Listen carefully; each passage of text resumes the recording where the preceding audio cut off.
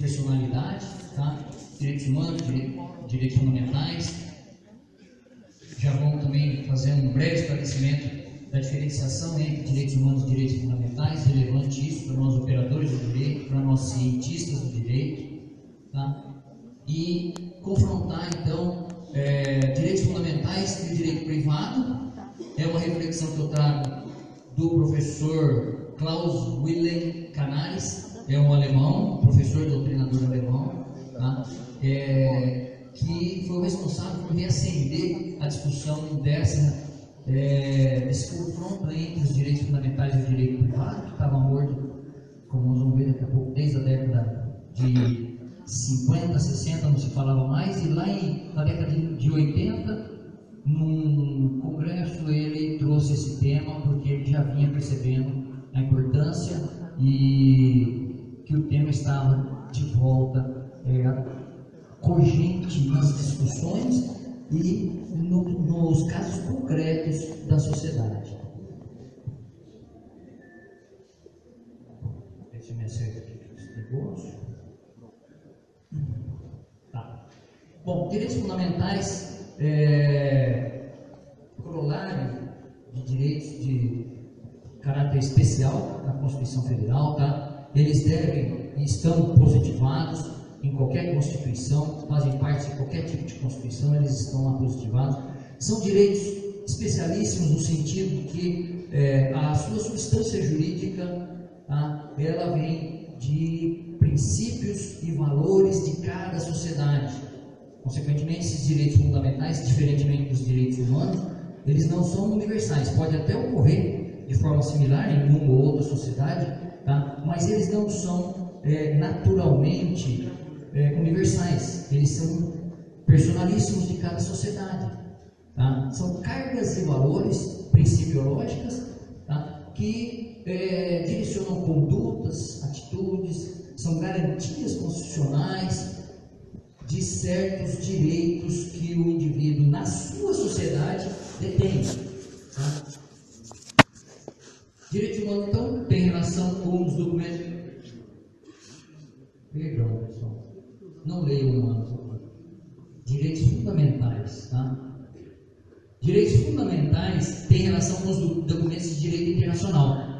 Realmente, nos tratados, é, qualquer tipo de documento, né, é, do direito internacional, público ou privado, eles trazem consigo é, uma correlação, ou melhor ainda, uma inter-relação com os direitos fundamentais visto que os direitos internacionais eles, é, eles têm um, uma, um problema é, grave a ser superado, porque eles não podem atingir a soberania nacional. Então são muito mais é, é, é direitos de caráter protetivos, garantidores é, de certas de certas condutas a nível de sociedade mundial e, consequentemente, eles trazem consigo essa carga de valores positivadas na figura dos direitos fundamentais. Tá? Uma relação intrínseca, uma relação extrema entre os direitos internacionais e os direitos fundamentais de cada sociedade.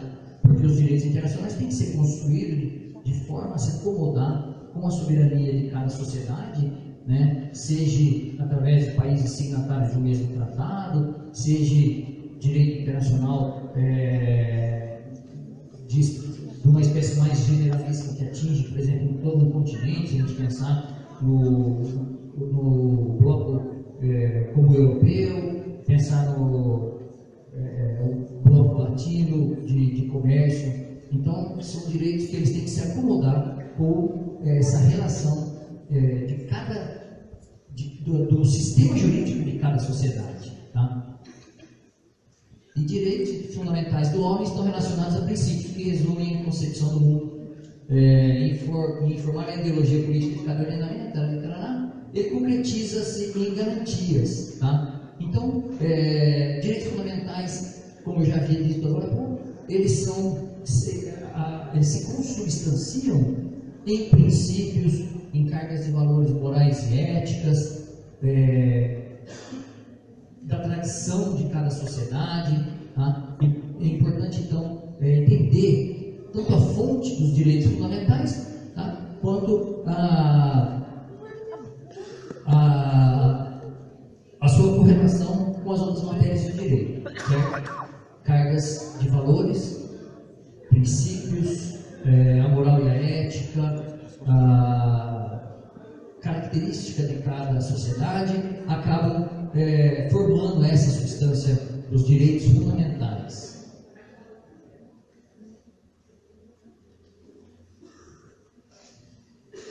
Previsão constitucional. Como falamos agora há pouco, é, os direitos fundamentais eles encontram positivação é, na Constituição Federal, né? visto, visto que são normas cogentes, revestidas das suas características naturais de toda norma cogente, né? qualidade, vigência, eficácia, e estão positivados. Já que nós é, agora falamos que são direitos garantidores da sociedade, eles devem estar muito bem delineados, devem estar muito bem é, descritos né, e objetivados na, no, no, direito material. Tá? Então, é, eles estão prescritos na Constituição Federal, nós vamos ver já, já os artigos que a gente encontra. E aqui uma observação importante que eu inseri nesse conjunto de slides que não estava, é, a diferença entre direitos humanos e direitos fundamentais. Tá? E essa diferença é medida como? Por quê? Porque é comum é, essa, essa confusão, às vezes, ou essa, é, esse olhar linear que o, o jurista pode fazer acerca de, entre esses tipos de direitos que são muito semelhantes, tá? os direitos humanos e os direitos fundamentais, e para se compreender ou para se diferenciar um do outro, é só olhar o destinatário de sua proteção. Tá? Direitos humanos possuem um caráter universal. São direitos, é, direito à vida, direito à liberdade, são direitos inerentes a qualquer indivíduo da sociedade global, de qualquer indivíduo do planeta Terra. Tá? Já os direitos fundamentais, o que a gente esse, essa, esse tipo de direito que nós estamos tratando aqui hoje, são direitos um pouco mais reservados, tá? visto que é, eles têm caráter nacional ou representam a concepção jurídica de uma sociedade, de direitos e deveres de uma sociedade específica, certo? É aquela história que eu falei também agora há pouco, que eles podem mudar de uma sociedade para outra, onde é, em uma sociedade é, um determinado instituto seja considerado direito fundamental e em uma outra sociedade é, já não tem essa característica de direito fundamental, porque não é vista realmente como um direito garantidor ou sequer como um direito necessário a essa sociedade. Tá? Então, são direitos fundamentais, são um pouco mais restritos ou eles são direcionados a cada sociedade de acordo com a concepção social de cada sociedade, certo? Os direitos fundamentais estão, como falamos agora, como positivados na Constituição, e aqui já nós estamos, já que eu fiz questão de é, de diferenciar para vocês os direitos humanos e direitos fundamentais, mesmo porque é, é um tipo de questionamento comum em concurso, tá? na OAB também eu já vi, a banca inserir uma questão visando analisar o seu conhecimento nessa diferença devido a ela ser muito estreita, tá? e explorar isso daí. Eu vejo até que meio que de forma é, desonesta, né? porque é, realmente é, para um estudo um pouco mais profundo. Então eu fiz questão de fundamentar, é, apresentar a fundamentação aqui de direitos humanos. Tá? Os direitos humanos estão posicionados no livro 1, artigo 4 inciso 2 da Constituição Federal. São os artigos ainda iniciais ali, onde estão é, formando o lastro todo da, da, dos valores constitucionais que se quer é, fixar no, no livro constitucional. Já os direitos fundamentais estão prescritos pelo livro 2, tá, nos incisos 5 ao 17 da Constituição Federal. Então, consequentemente, é, estão fundamentados em locais diferentes, porque é o que a gente vem falando, são direitos diferentes. Tá? São conjuntos de direito, perdão, conjuntos normativos diferentes, que protegem, prescrevem é, sobre questões diferentes, certo? Fundamentação também diferenciada. funções dos direitos fundamentais na sociedade. É, nós estamos fazendo, eu estou fazendo uma introdução aqui, pessoal, falando dos direitos fundamentais, para a gente é, ter melhor na, na, mente, porque depois eu vou confrontar eles então com o direito privado. Por quê? Porque uma discussão antiga é se existe a relação de direitos fundamentais com é, direitos com o direito privado. Então primeiro vamos esgotar a parte dos direitos fundamentais.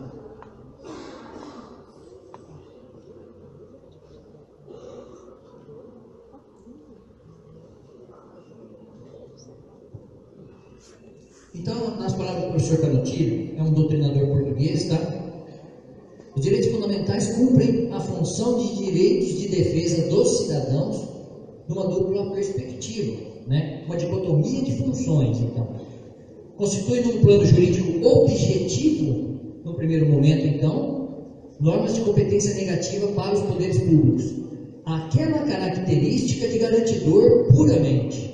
Né? Originariamente, aquela característica de garantidor. Direito garantidor do quê? Direito garantidor é, vem se implementando desde a sua criação na primeira geração, lá no século, é, século XII, XIII, me fala a memória, não, século, perdão, século XVII iniciou-se a primeira, primeira geração dos direitos fundamentais, justamente com a finalidade, o mundo saía de uma dominação, saía de direito canônico, saía é, dos impérios é, dominantes e tentava criar uma sociedade então democrática, tentava criar uma sociedade mais aberta. E com isso eles precisavam do quê? Garantia de que o Estado não fosse mais interferir no seu viver, no seu desenvolver como sociedade, no seu direito de ter uma propriedade, no seu direito de ter é, uma, uma profissão, o Estado limitava tudo nesse período aí, nesses direitos. Só, só o Estado, que se era representado por uma sociedade de liderança, concentrava as riquezas, consequentemente concentrava muitos direitos que deveriam ser de todos. O mundo saía desse período e entrava num período é, requerendo esses direitos aí, garantidores, evidentemente, pela, pela lei. Somente o direito poderia dar garantias aos cidadãos, aos indivíduos da sociedade. Então, essa, essa característica ou plano jurídico objetivo, ele é do plano axiológico dos direitos fundamentais, do nascimento dos direitos fundamentais. Nasceram para proteger o indivíduo no primeiro momento. Proteger, então, primariamente, do poder absoluto do Estado, né? dando a ele essas garantias de desenvolvimento como indivíduo, de desenvolvimento como sociedade, família e tudo mais. E, no segundo plano, já no plano jurídico subjetivo agora, o poder de exercer positivamente direitos fundamentais. Primeiro, liberdade negativa, perdão, primeiro, competência negativa, segundo, liberdade positiva, tá? que é onde os indivíduos encontravam no conjunto normativo aquela garantia que eles esperavam então, dadas de forma muito objetiva na criação desses direitos, encontrava agora a sua disposição para exercê-los. Né? Porque a gente sabe que o fato é, da norma ser criada não significa que o vício, que o conflito não irá ocorrer. A norma jurídica nasce com duas características, imperatividade e coercibilidade. Né? As normas que regulam condutas. Imperatividade, característica de que ela nasce para ser cumprida. Coercibilidade, ao seu descumprimento, uma punição. Mas não é porque ela nasce uma característica de imperatividade que ela realmente vai exercer de forma absoluta aquilo que ela está determinando na sua hipótese. Como assim? Não é porque tem o artigo, o artigo 121 do Código Penal, homicídio, né? Penalista aí, se, eu não estou enganado, que acabou, não tem pronto, ó, eu sou a norma, 121 do artigo penal, e será homicídio matar alguém, vai ser punido, então ninguém mais mata, acabou, ninguém mais mata na sociedade. Não, não é bem assim que acontece, né? Aí a relação de onde eu não vamos nem falar disso aí, tá? Deixa para o professor de teoria do direito. Não vou ficar aqui o terreiro, não vai ficar legal. Então, é, não é porque a norma ela nasce com essa característica de imperatividade, obrigação de ser cumprida, que ela será 100% absolutamente cumprida. Ela vai ser descumprida. Assim como qualquer direito dos indivíduos da sociedade, que apesar de estarem prescritos, objetivados, serão respeitados. Não. Vai ocorrer desrespeito. E a gente sabe disso, a gente sente isso na pele no dia a dia. Né? E muitas vezes esse, esse excesso de poder ou essa transgressão aos nossos direitos é promovido pelo próprio Estado, mesmo que esse Estado seja um servidor nosso, né? Então, é, palavras lá de Geraldo Ataliba, Estado serve ao cidadão e a ele deve ser fiel, mas a gente sabe que não é bem isso que acontece. E o Estado muitas vezes ele abusa do seu poder. E ao abusar do seu poder, ele atinge o indivíduo, ele atinge os direitos do indivíduo.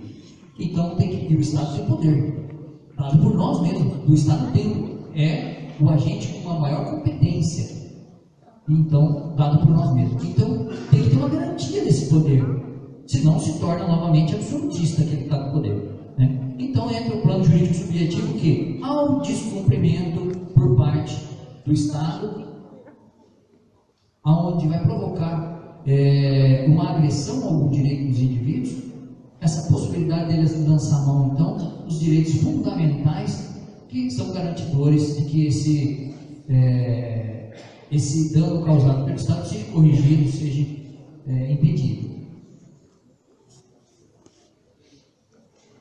Passando assim, gente, de forma linear, tá? só nas cinco gerações, para a gente entender, senão eu não consigo fazer com vocês a conexão dos direitos fundamentais com o direito privado. Tá? Precisamos entender como é que eles se desenvolveram. E basicamente hoje, pela corrente dominante, é, a gente enxerga eles, é, enxerga que eles se desenvolveram em cinco gerações.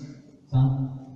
Corrente dominante porque existe corrente contrária, corrente discorda, diverge, só reconhecendo os três primeiros, os dois últimos, os mais recentes, eles ainda não reconhecem é, como, como gerações dos direitos fundamentais. Mas vamos trabalhar com a corrente dominante para a gente compreender as cinco gerações.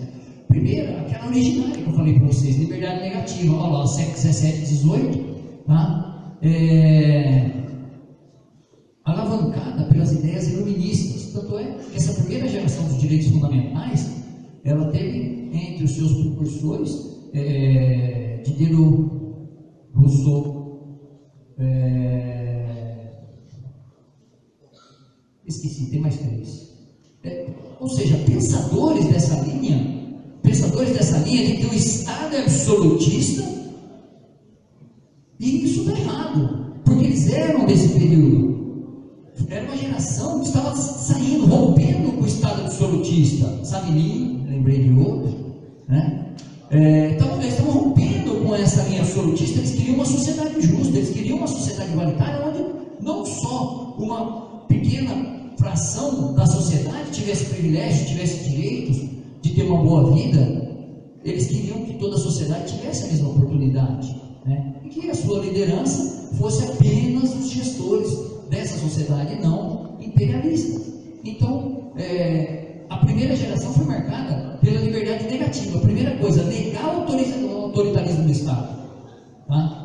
É, são resultantes principalmente da Declaração Francesa do Direito do Homem e do Cidadão e da Constituição dos Estados Unidos da América. Tá? Que essas constituições realmente elas foram criadas, foram embasadas, né? foram estribadas em direitos humanos e nos direitos fundamentais. Por isso que a Constituição americana tem pouquinhos artigos, né? porque é uma Constituição de normas gerais, baseadas lá eles, o direito deles é, sobre a égide do common law, e então são direitos baseados em costumes dessa sociedade, é, em princípios. Na segunda geração, ou dimensão, eu mantenho, eu gosto mais de geração. Na segunda geração, os direitos sociais, econômicos e culturais. A sociedade, o mundo então, tinha passado aquela primeira, aquele primeiro estágio de libertação dos estados absolutistas, e agora eles começavam a encontrar condições de desenvolvimento, de ter uma vida melhor, de trabalhar, de estudar, ter uma profissão. Né? As grandes universidades que o mundo existia, que, que o mundo é, é, conhecia lá na, na, na Idade Média, principalmente direito canônico, que eram todos controlados pela igreja católica apostólica romana e que direcionava tanto os cargos que só ocupavam quem eles queriam, como os métodos de ensino também eram todos direcionados para aquele projeto de dominação do direito canônico, isso tudo tinha ficado para trás. Agora o direito estava aberto, o, perdão, o ensino estava aberto, a universidade estava aberta para quem fosse, é, se, para quem se dispusesse, para quem se interessasse para criar uma profissão, é, para estudar, para trabalhar, para ter uma vida, para ter propriedade. O mundo tinha passado essa primeira fase e entrava numa fase então agora com oportunidades. Acontece que a sociedade ela precisa ter o respaldo do Estado. O Estado tem que propiciar, o Estado tem que provocar esse desenvolvimento. O indivíduo sozinho ou a sociedade sem essa liderança e sem a força do Estado em si não tem força para criar essas oportunidades. Né? E eles precisavam agora do Estado. Agora eles chamavam. Primeiro eles repeliram o Estado da primeira geração. Segunda geração, eles chamam o Estado para si. Pessoal, está muito, tá muito alto aí para vocês? Está bom? Tranquilo? Estou aqui, eu dou uns, uns gritos aqui até o assunto comigo. Ficar mais para cá. Então, eu, eu, eu eu, a, sociedade saía e agora ela chama o Estado de volta e fala: olha, beleza, não é para me dominar, não. Mas nós precisamos que vocês exerçam a função para a qual foi a função originária de gestores públicos. Né? Que é o que? Dar oportunidades, criar oportunidades nessa sociedade. Fomentar o desenvolvimento do indivíduo, não só o desenvolvimento da sociedade, o desenvolvimento do indivíduo.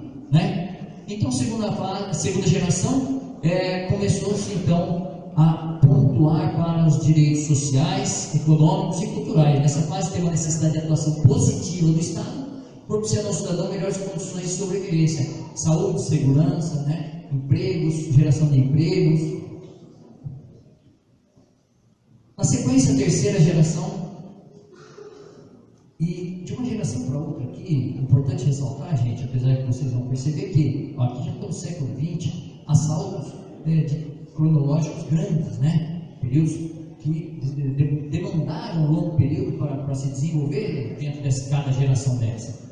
Terceira geração, direito ao meio ambiente, direito ao desenvolvimento, a autodeterminação dos povos, direitos de comunicação. Isso se deu no final do século XX. Tá? É, finalidade, tutelar o próprio gênero humano, nominado também direitos transindividuais. Por quê? A sociedade, então, agora, superando as duas primeiras fases, a liberdade estado absolutista e o requerimento de condições para que se desenvolvesse socialmente, economicamente, condições para que cada um se desenvolvesse como indivíduo. Agora estão numa outra fase, mais à frente, mais desenvolvida, eles estão numa fase em que direitos muito específicos começam a surgir na sociedade. Essa liberdade que eles vinham agora é, é, é, enfrentando de tempos, começa a é, propiciar a criação de novos direitos, começa a ter uma mudança de concepções na sociedade, uma maior liberdade de pensamento, de agir, e começam a surgir outras necessidades, porque a vida é sempre assim. O desenvolvimento é, do homem está nesse âmbito, né? onde ele atinge um objetivo, imediatamente outro objetivo se instala na sua vida.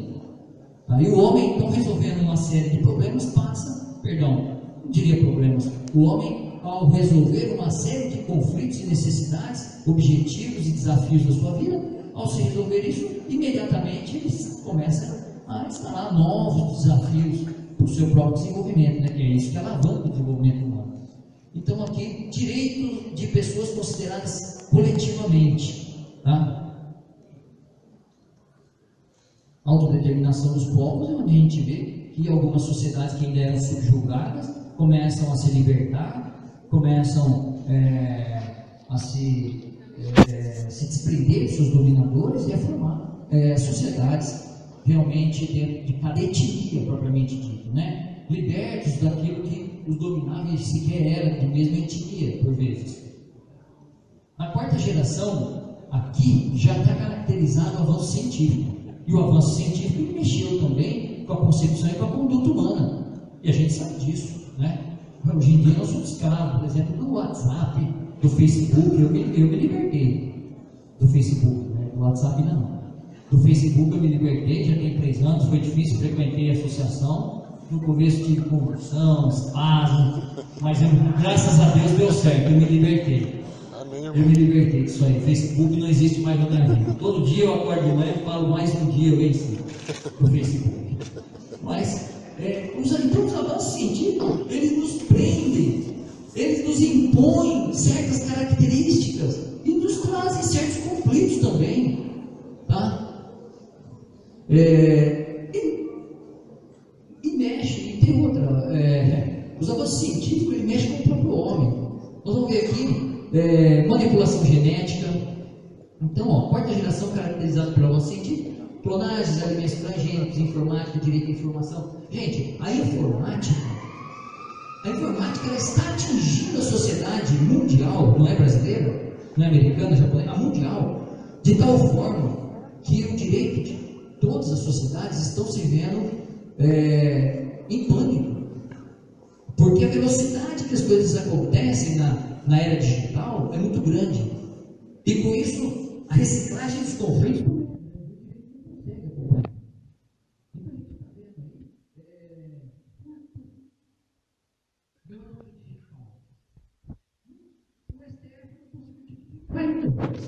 O STF determinou que não, não Revenge porn, que é a vingança pornográfica. Tipo, o casal termina e eles trocavam mensagens, trocavam imagens, não sei o quê, que é natural. Isso é um problema de cada casal. É um novo meio de ter prazer. Não tem crianças aqui não, né? Menor de idade não, né? Tá. Tem o poder revelador, nem conhece. Boa noite. Alguém tampa os ouvidos menino, por favor, então.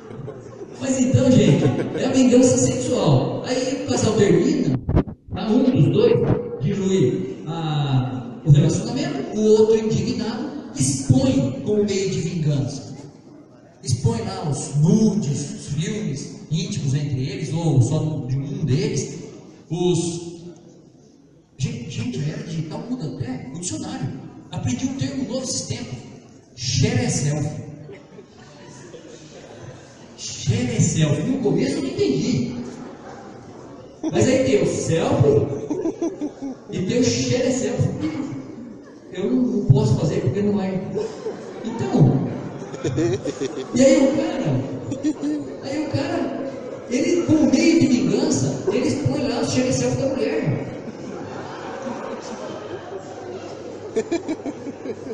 O assunto é sério. Ah, tá, foi bom.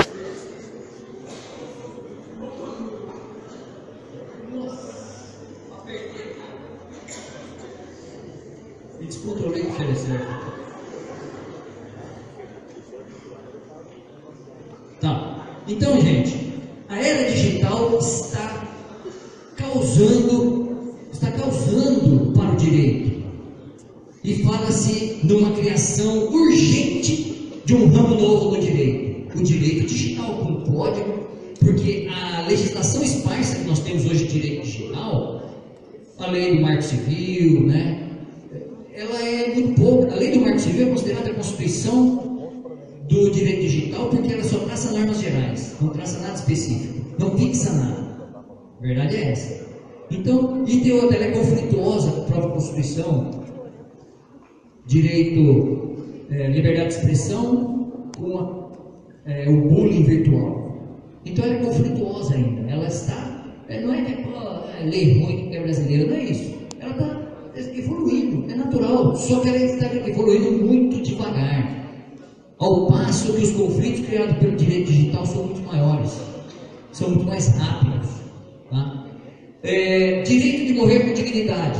A discussão não é nova, né? Eutanásia nós estamos falando eutanásia. No Brasil, não temos é, legalizado, em normas gerais, a eutanásia. Tá? Então, são problemas que o avanço científico trouxe. Direito à mudança de sexo. Pô, direito fundamental. Mas tem sociedade que não aceita, sociedades extremistas, Rússia, algumas outras aí do mundo, é, principalmente sociedades do, do, Oriente Médio, né, tem um extremismo religioso muito grande, eles não aceitam. Por isso, então, de direitos fundamentais, porque tem sociedade que insere e tem sociedade que não insere. Eles não consideram que o indivíduo tem o direito de exercer a sua sexualidade. A concepção brasileira já atingiu esse estágio e entende que isso é um direito do indivíduo. Isso é um direito do indivíduo. aliás, aliás, outro problema grande dessa geração, que se arrasta até os dias de hoje, mesmo nós já estamos é, sob a quinta geração, mas ainda na quarta geração, o problema do casamento, casamento homoafetivo, da relação é, poliafetiva, que é uma mulher casar com dois homens, um homem casar com duas mulheres. E eles não estão querendo, eles não estão é, pugnando mais só pelo reconhecimento de uma relação. Eles estão pugnando pela oficialização legal. Eles querem o casamento, eles querem legalizar. Para dizer, não, realmente isso aqui é uma coisa séria, não é brincadeira. E aí, é, o direito fala assim, não, peraí, poxa, meu, meus tribunais estão aceitando relação poliafetiva. E, mas o meu direito material tradicional fala para mim em dever de fidelidade, fala para mim em bigamia. E aí? Conflitos. Conflitos transacionados no âmbito de direitos individuais e fundamentais dos indivíduos. O cara aceita a relação com as duas mulheres. As duas mulheres aceitam a relação com o mesmo homem, aceita dividir tudo. Por que, que o direito vai falar não? Se é algo pacífico, se é algo harmonioso. Veja bem, gente, eu não estou me posicionando, estou argumentando cientificamente. Só. E também não estou dizendo que eu sou contra. Só estou falando, só estou me posicionando cientificamente. Aí vamos falar em questões religiosas, sei o quê? Não, não vamos falar nisso aqui, não temos espaço para isso. Nós estamos falando de direitos fundamentais dentro da sociedade brasileira. E outras que adotam isso daí também. Tá? Eu sinceramente não vejo vantagem muito para as mulheres. Um homem casado com duas mulheres é uma beleza. Não tem vantagem para mulher. Ela não vai ter que lavar a cueca todo dia. Um dia uma lava, outro dia outra lava. Ah, tem vantagem? Ah? Ele, ah, poxa, ah, já começou o feminismo. Já começou o feminismo. É, Roger?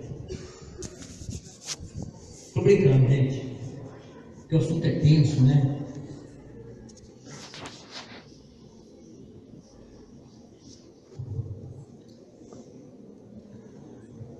Bom, quarta geração, quinta geração dos direitos fundamentais, tá? Direitos virtuais entra naquele problema. Por que virtual? E aqui cuidado, tá gente? Porque os problemas da era tecnológica estão aqui na quarta geração, tá? Aqui quando ele fala direitos virtuais, ó, ele está falando na verdade de direitos assim que a gente fisicamente a gente não tem contato direto. Mais ou menos nesse âmbito. Clonagem, estudo de células tronco, direito do embrião, escolha do sexo. Escolha do sexo é um problema que levanta profundas é, divergências, profundos debates, né? Também mexe com a religião, também mexe com é, conceitos e preceitos morais, éticos, tradições. Então, é, é um problema também que nós estamos enfrentando nessa quinta geração dos direitos fundamentais. Como vocês podem perceber, é, todas elas, todas as cinco gerações, elas transitaram sobre problemas que o indivíduo tem perante a sua própria sociedade e que devem ser tutelados pelo Estado. Não podem ser opostos pelo Estado e, ao contrário, devem ser tutelados pelo Estado. Ou seja, o plano ou função objetiva e subjetiva, que nós falamos agora há pouco. Certo? Muito bem. Função dos direitos fundamentais. Para que serve então? Tá? Trago, lógico, evidentemente, a definição dada pelo professor Klaus Canares, porque me interessa, já que eu quero fazer a correlação com o direito privado, é a é a função, é a, a, a, conceituação do professor Canares que me interessa. Onde as funções dos direitos fundamentais são as prerrogativas e instituições que o direito positivo, cogente, concretiza em garantias de uma convivência digna, livre e iguais para todas as pessoas. Princípio da isonomia presente, trazendo então para o âmbito dos direitos fundamentais a função de uma igualdade, de um nivelamento da sociedade nos seus direitos, certo?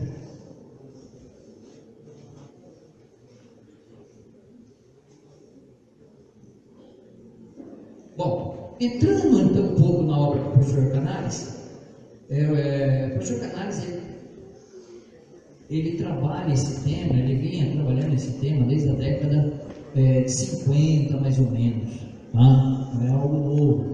O, a discussão de direitos fundamentais dentro dos direitos privados não é nova, eu tinha falado isso daí. Mas ela morreu, lá na, década de 50 e 60, ela, ela, ela foi é, tirada das pautas de discussão, visto que eles consideravam que não havia possibilidade de, da inclusão dos direitos fundamentais frente ao direito privado ou na operação do direito privado. E o professor Canares trouxe, então, é, de volta essa discussão, nós vamos ver por quê. Primeiro, é, traz uma reflexão analítica, essa obra, sobre a temática direitos fundamentais direito privado, tá? travada lá primeiro no direito alemão. Não podemos esquecer que o nosso direito, ele é de tradição romano-germânica. Nós herdamos parte do nosso direito, então, do direito germânico, ou seja, o que acontece no direito germânico acaba por nos interessar, no mínimo. Tá? Isso tudo não nos influencia diretamente. Porém, mostrando evidências de pensamento pacificado dos países da Europa. Tá? O professor Canares ele fez uma apanhada. Tá? Ele foi ver o que estava acontecendo na Europa, porque, lógico, evidente que o direito de nenhuma sociedade é o melhor constantemente, ou é o, ou que seja o melhor, não pode ser considerado dessa forma, porque são características de sociedade diferentes, características de direito diferentes, concepções tradicionais, religiosas, sociais, econômicas diferentes. Tá? Mas ele foi fazer um apanhado de como estava, não foi nem o, o, a questão dos direitos fundamentais diretamente no direito privado. Ele foi ver o direito privado das sociedades europeias na sua época, como é que o atingimento a esses direitos de indivíduo estava provocando o desenvolvimento e a operação do direito, porque ele queria ver se ali havia necessidade então de se tratar dos direitos fundamentais. E desfronda a teoria dos deveres de proteção aos direitos fundamentais suscitada frente ao exercício judicante ou seja, a tutela do Estado, onde há necessidade, onde há violência aos direitos dos indivíduos naquela sociedade, seja pelo Estado, seja pela força privada. E a intervenção legislativa e aplicação no direito privado, ou seja, realmente é, se, está, se está suficiente o corolário de normas que tratam do assunto e se a legislação está cuidando de repor esse corolário certo? A fim de satisfazer as necessidades da sociedade, porque a função legislativa de forma primária é essa, não é? A criação de normas que venham a satisfazer necessidades da sociedade. Em sua essência secundária, acaba por revelar um conflito clássico entre direito natural e direito positivo, sob a égide do pós-positivismo. Pós-positivismo, movimento né, de é, criação e aplicação da norma depois da longa exaustiva briga que existia somente entre direito natural e direito positivo. Cria do próprio direito positivo, aonde essa categoria de intérpretes novos passam a aceitar, só para relembrar, né, gente? Eu sei que vocês viram isso, mas só para. É, onde essa categoria de, de intérpretes passavam a aceitar que os direitos principiológicos, morais, éticos, costumeiros, direitos consuetudinários, né? Realmente eles tinham validade na regulação de condutas da sociedade, de organização da sociedade. Porque o direito positivo não aceitava isso, somente a regra da lei. Né? Então, Sedimentada pela profunda influência românica, né? e o direito natural, por sua vez, falava que tudo bem, realmente a norma foi criada pelo homem para o homem para regular as condutas de forma oficial. Mas isso tudo tem que se dar sob o âmbito de questões morais, éticas, porque o homem ele vive sobre esse âmbito moral e ético. Então as normas têm que ser isso aí. Já que as normas foram criadas pelo homem para o homem, elas têm que ser criadas pelo homem sobre as suas concepções morais, éticas e principiológicas. E era essa eterna briga. Veio o pós-positivismo. Tá? Eram crias de positivistas que eles começam a abrir a mente e falar, olha, tudo bem, a lei ela é fundamental, foi criada para isso, então ela tem que ser obedecida. Né? É criada de maneira imperativa, tem que ser cumprida. Todavia, a sua interpretação, operação e aplicação deve obedecer também, vamos levar em conta, né? Vamos reconhecer as características de cada sociedade. É. Então, cria esse pós-positivismo e nessa é, discussão entre direitos fundamentais e direito privado, aparece então a importância do pós-positivismo. Direitos fundamentais e direitos privados. Vamos entrar então de forma oblíqua no tema, né? A fim de tratar logo isso, estou vendo que está todo mundo ficando com frio, até eu aqui na frente, estou andando falando.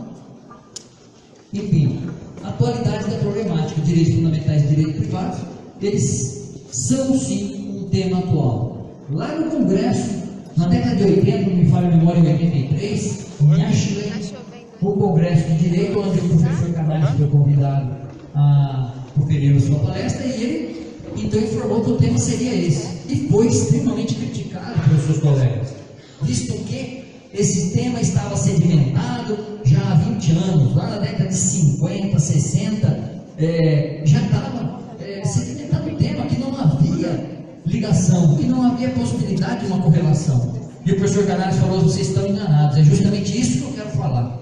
Vocês estão enganados. E existe sim a relação, deve existir. É, internacionalidade da problemática, tá? Doutrinador Mark Silis, ele fala de um constitucional, não vou falar em inglês não, porque o inglês é britânico. Constitucionalismo do direito privado. A gente sabe que aquela divisão clássica que vem lá dos romanos, direito público e direito privado, né? Separamos as normas, né? Que todavia há a inserção, a ingerência de uma. Alguns que eu já ouvi falar, não acho muito apropriado. Publicização do direito privado. Eu acho um pouco indevido devido à competência. Mas constitucionalidade do direito privado eu acho adequado. Eu acho adequado. Por quê? Porque a Constituição ela não é uma norma em si puramente. Ela é o quê? Fonte do próprio direito. Claro que ela é uma lei, né? Constituição. Mas ela não é propriamente uma norma. A, a, o sistema legislativo nasce da Constituição. Né? Artigo 59, né, professor? Nasce da Constituição. A Constituição ela estabelece normas gerais princípios, valores, concepções de organização de cada sociedade.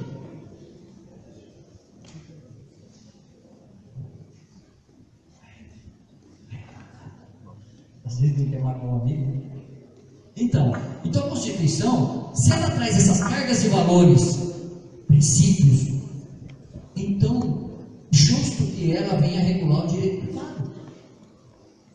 E aí a gente vê é, por exemplo, quem foi meu aluno, sempre eu leio para os alunos do primeiro ano a sentença das duas melancias, né? Quem lembra aí, irmão? Opa, tá bom. Então, é, a melancias, sentença clássica, real, onde, num caso flagrante de furto, porém, furto de duas melancias, né? Uma de cada um trabalhador, dois trabalhadores rurais, o juiz definiu pela absolvição de ambos. Ela. Ao contrário, ao contrariando as normas técnicas né, e regulamentos, não fundamentou sequer um artigo, mas fundamentou a sua, absolvição com base numa série de princípios, direito alternativo, direito natural. E então é uma constitucionalização do direito privado, é verdade. A gente vê isso também na questão, por exemplo, só para dar um exemplo, Direito imobiliário. Norma de direito privado, onde os sujeitos da relação são privados, todavia o Estado ele atua na garantia de que é, as. as é, como é que fala para alugar o. Não, para atualizar os valores. As, obrigado, doutor Rafael. Ah, as correções não sejam descontroladas. O Estado não tem índice para limitar essas correções. É o que? Constitucionalização do direito privado. Né? Com base na proteção do indivíduo hipossuficiente, com base é, na relação é, negocial. Então, é, direitos fundamentais, eles provocaram uma constitucionalização do direito privado. Porque o direito privado, apesar de ser um direito que garante a tratativa das condutas entre, entre indivíduos da sociedade, elas devem ser reguladas sim por questões morais, éticas, ou seja, questões constitucionais. A influência dos direitos fundamentais sobre a legislação do direito privado. Tá? Não, só não esqueça que nós estamos falando ainda numa discussão no âmbito do direito alemão. Mas irradiou essa discussão, irradiou por todo o direito, pelo direito no mundo todo, e trouxe consequências positivas, tá? Consequências nem sempre são negativas. Então, vinculação da legislação, poder executivo e jurisdição. Vinculação entre eles. Na legislação alemã, e grande parte da legislação constitucional alienígena, fora da Alemanha, né, não é no espaço sideral. Os direitos fundamentais vinculam a legislação, o poder executivo e a jurisdição. Ou seja, todos os âmbitos de exercício do direito. Né? Porque o direito ele não se resume só à criação de normas, à legislação em si. Tem toda a atividade judicante. Isto, e o direito, é, os direitos fundamentais, eles vinculam toda a atividade vinculante. Porque se o legislador falho ao criar uma norma que despreza ou desconsidera um direito fundamental ou mesmo direito humano, o, a jurisdição vai resolver esse problema na interpretação da norma. Colecionei aqui tá? STF, recurso extraordinário 201-809 de 2006, os direitos fundamentais assegurados pela Constituição vinculam diretamente não apenas poderes públicos, pois também estão direcionados à proteção dos particulares em face dos poderes privados. As violações a direitos fundamentais não ocorrem no âmbito das relações entre cidadão e Estado, que é aquilo da primeira geração onde o indivíduo, o cidadão, ele ganhou o direito de se proteger do absolutismo do Estado. Não só essa relação, mas igualmente nas relações travadas entre pessoas físicas e jurídicas e direito privado. Sendo assim, o espaço de autonomia privada conferido às associações está limitado pela observância dos princípios de direitos fundamentais inscritos na Constituição. Discussão sobre direitos é, das associações. Certo? Então mostra aí, ó, aqui caso prático, aplicabilidade da função dos direitos fundamentais na regulação de condutas da sociedade. Modificação dos efeitos dos direitos fundamentais. Quanto à aplicabilidade, os direitos fundamentais terão conteúdo e alcance diferenciados na relação entre sujeitos de direito privado e entre o cidadão e o Estado, bem comum e interesse público. Esse slide ou melhor dizendo, esse slide não. Para a explicação desse slide, chamam à frente Aristóteles, que vocês conhecem bem, uma proposição dele na questão do tratamento análogo aos indivíduos da sociedade. Tratar igualmente os iguais e desigualmente os desiguais na proporção de suas desigualdades. Os direitos fundamentais, eles são fundamentais para os efeitos própria, do próprio exercício do direito. Tá? São eles que garantem isso aí. Por exemplo, cotas para deficiente físico em concurso público. Por exemplo, tá? livre acesso ou o acesso aos deficientes em prédios é, públicos e qualquer outro que seja, eles têm direito a ter acesso às calçadas e tudo mais. Isso é o quê? Ah, mas peraí, vai agora gastar dinheiro só por causa de uma meia dúzia? Primeiro que é medo, os outros números assim só conta redonda. Mas, sim, trazer eles com igualdade, porque se você tem condições físicas de subir uma guia e andar tranquilamente numa, numa calçada é, toda deformada, ele tem que ter a mesma condição, ele tem que ter o mesmo direito à disposição dele. Tá? Então, os efeitos dos direitos fundamentais, eles se apresentam de forma diferenciada, eu diria até personalíssima em cada caso. Eles têm essa característica, então, de adequação ao contexto e à situação fática tá? dos direitos fundamentais.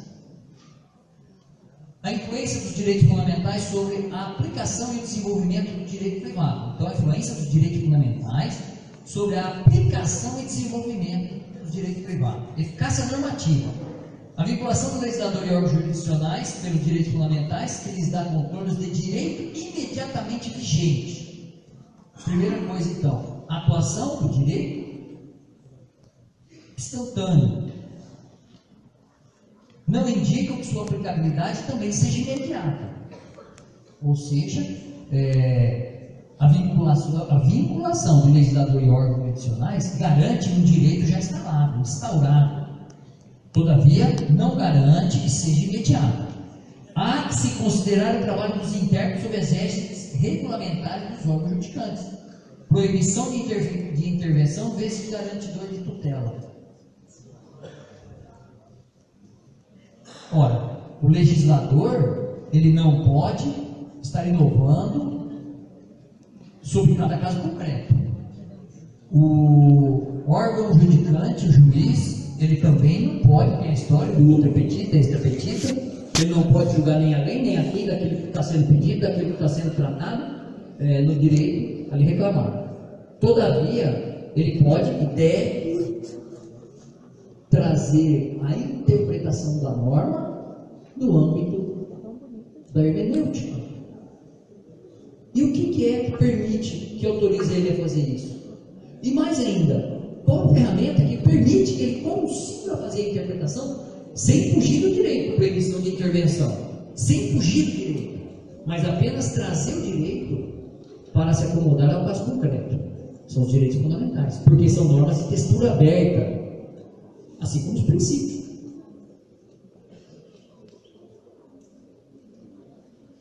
A influência dos direitos fundamentais. Reflexão, então, acerca dos, suje dos sujeitos do direito privado vinculado pelos direitos fundamentais.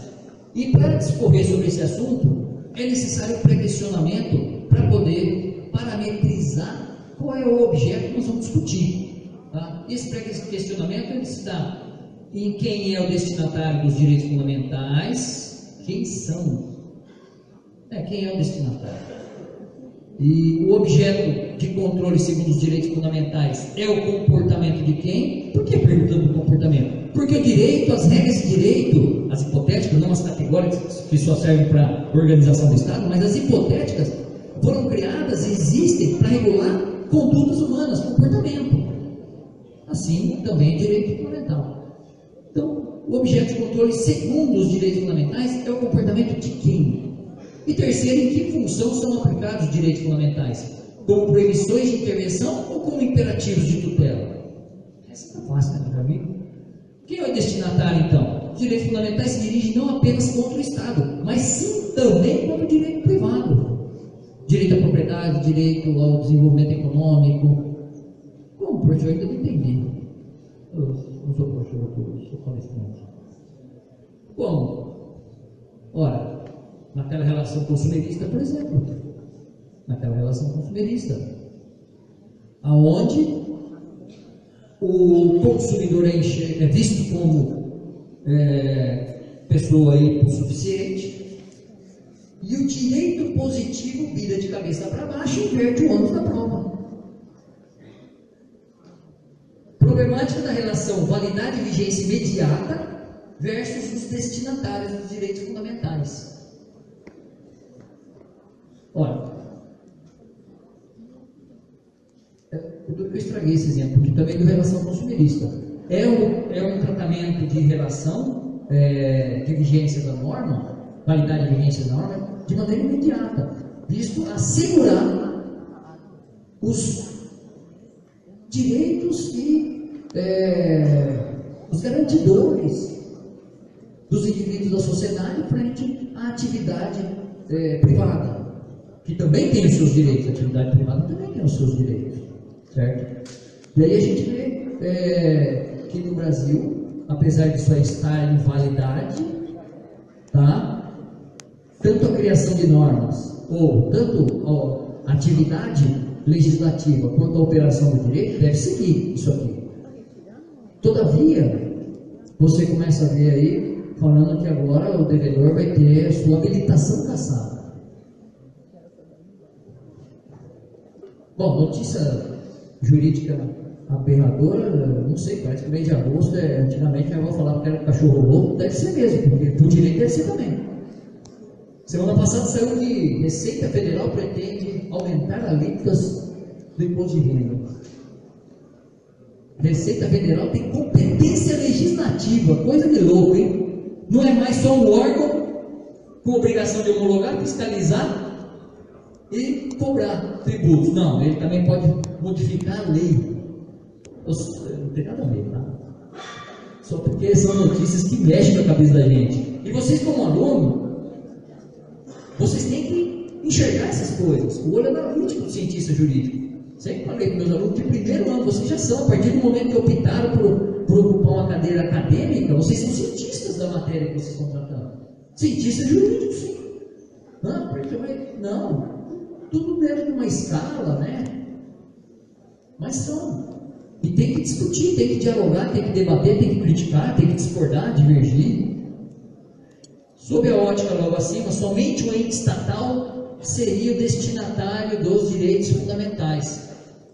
Ora, validade e vigência imediata é, com relação aos destinatários dos direitos fundamentais indicaria, essa tese indicaria que somente o Estado estaria no sujeito passivo de uma relação que caberia a aplicação de direitos fundamentais. E não é assim, como nós acabamos de ver numa relação consumista. A possibilidade, sim, do direito privado ser atingido ou da pessoa privada ser atingida pelo peso das validades fundamentais, no sentido normativo. Tá?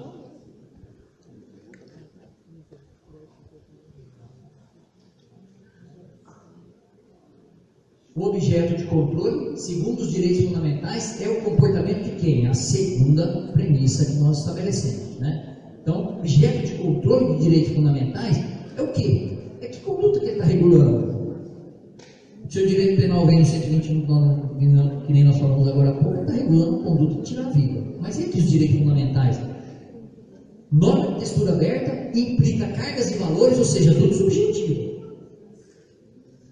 Objeto de controle pelos direitos fundamentais são, em princípio, tá, de forma primária, apenas regulações e atos estatais, sobretudo negócios jurídicos e atos ilícitos, provocados pelo Estado contra o indivíduo, de forma primária.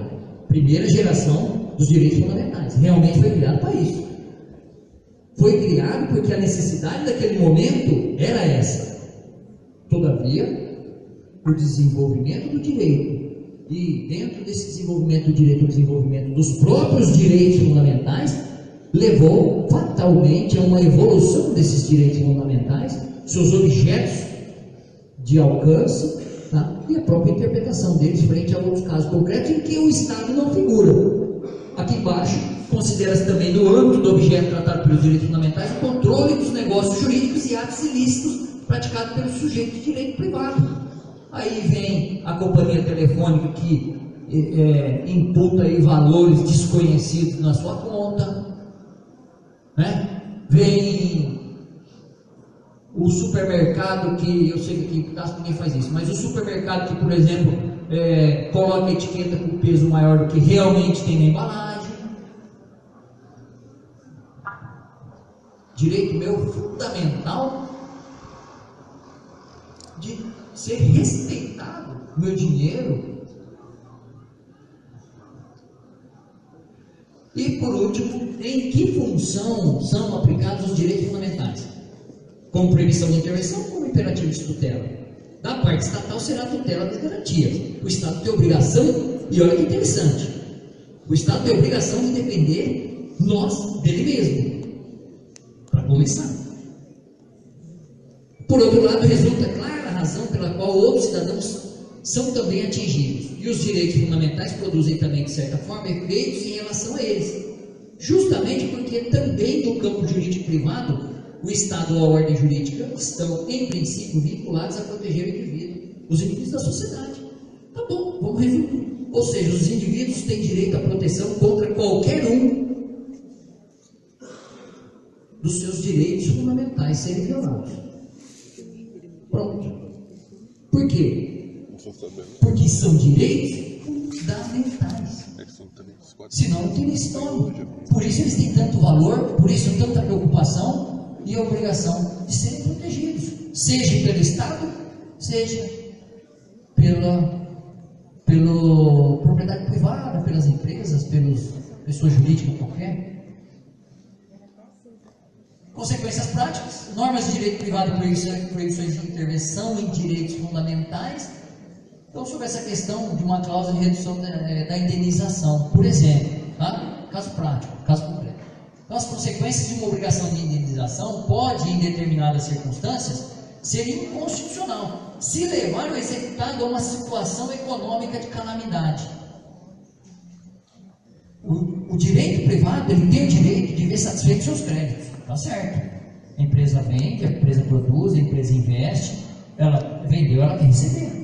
Todavia, se ocorrer, não, no Brasil não ocorre muito não a inadimplência, mas vamos supor que venha ocorrer, essa cobrança ela vai ser limitada forçosamente, porque se levar o indivíduo a um estado de calamidade econômica, o direito privado vai ser limitado.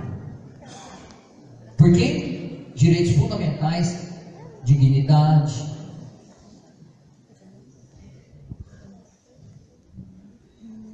Bom, é, com isso, concluo minha longa, exaustiva narrativa, tá? Tentei abordar, é um tema profundo, trouxe para vocês de uma forma um pouco mais prática, tentei pelo menos, tá? em conformação aí com o tema da palestra e estou aberto a questionamentos. Não, não, não. É seja o seja.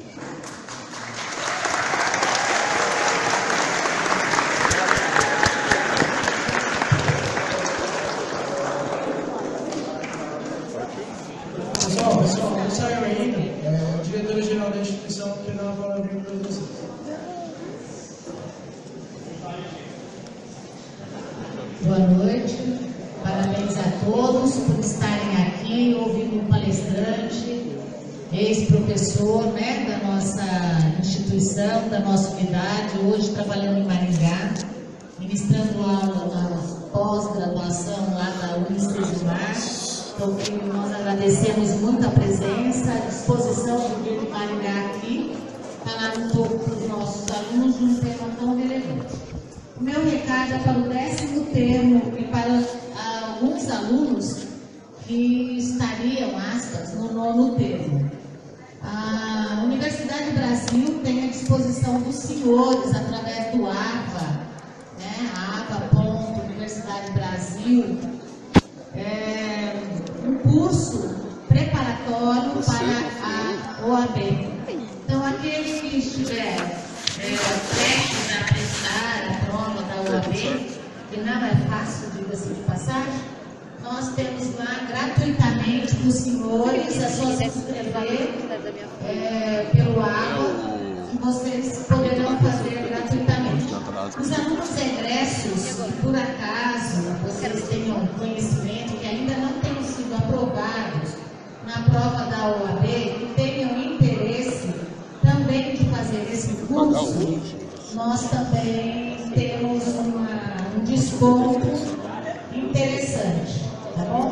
Outra questão é o seguinte, não teve a oportunidade de indicar um amigo para fazer a, algum curso aqui na nossa instituição, recebendo um desconto de 10% por aluno indicado nas suas mensalidades. Boa noite a todos, muito obrigada. Uma primeira noite. Márcio, venha cá.